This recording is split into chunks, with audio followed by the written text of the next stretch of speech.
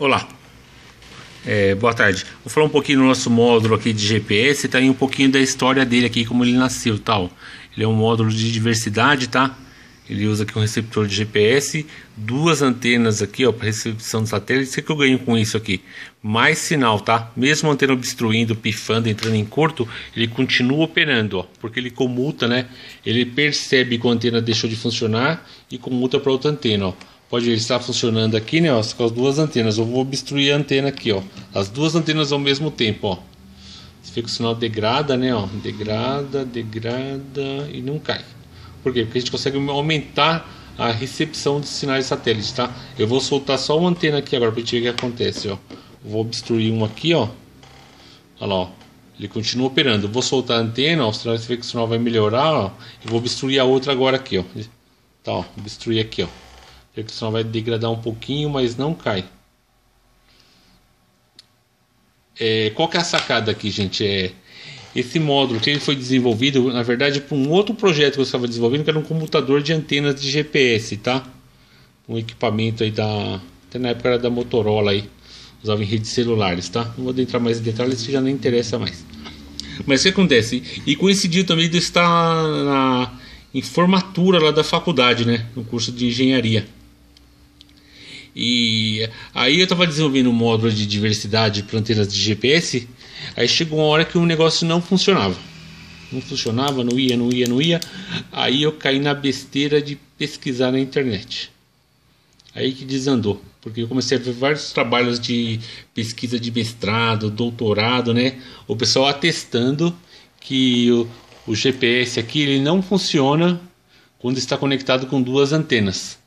Porque o que ele falava lá nos, nas teorias, né? Que por análise combinatória você dá cancelamento de sinal, né? E o GPS ia sair fora do ar. Você ia perder esse precioso aqui, ó. Um pulso por segundo de precisão aqui, ó.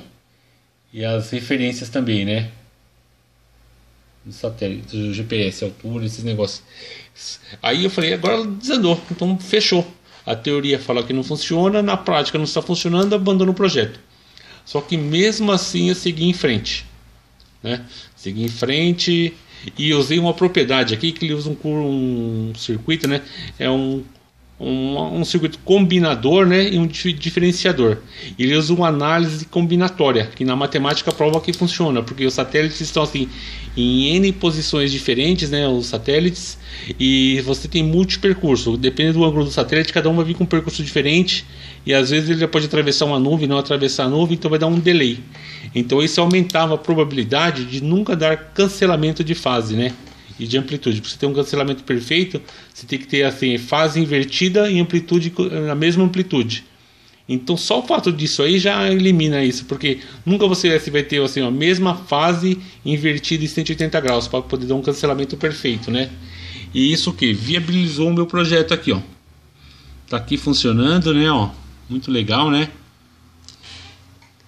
E acabou contestando lá as teorias, né? O pessoal dos formandos lá em doutorado, mestrado, falando que a análise combinatória provava que não funcionava.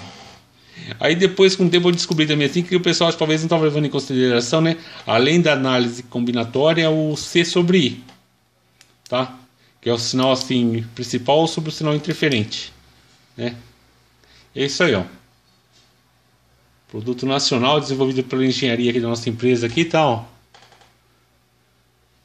Gostou aí, ó, gente? Inscreva no nosso canal que tem sempre novidades aqui, tá? Sempre histórias sobre telecom, radiocomunicação, né? E deixe seu comentário aqui, ó. É orgulho de vir aqui. O projeto nacional desenvolvido com recursos próprios, tá? E aqui pra você ter ideia, tem um GPS aqui do lado, ó, não funciona, não recebe nada. E esse projeto aqui é ideal para quê? Aviação, embarcações, veículos de precisão, né? Vai ter usar bastante esses Teslas, etc. Aí, carros autônomos, né? Então você aumenta aqui, ó, a precisão com o uso de mais antenas de GPS. Com isso você não perde sinal de jeito nenhum. Ó. A gente simulou aqui, né? Ó, tampando lá, ó, ele continua operando.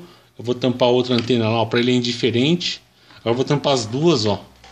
Aí que você percebe uma degradação. Só que você afasta isso no veículo no barco e já era. Continua funcionando.